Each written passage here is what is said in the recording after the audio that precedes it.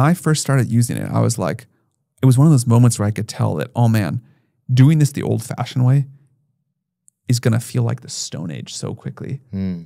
But the idea that an AI can not just answer questions for you, but it can go actually do stuff on your behalf as your agent. It can go do research for you. It can go book something for you. It can go buy something for you. It can go like, you know, change some things in the world for you and think more and use tools. Like, I think most people think of ChatGPT as this app that you can ask anything, but it'll become this thing that can do anything.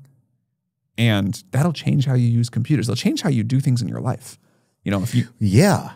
I was watching the guy do it and it was just kind of fascinating. He was showing like one time he went to like a website and bought something that he needed. And then now moving forward, he could just be like, hey, go to this and make sure to get me these or go to, uh, go here and see, uh, go to the restaurants I like and see if there's any table available for 7 p.m. tomorrow.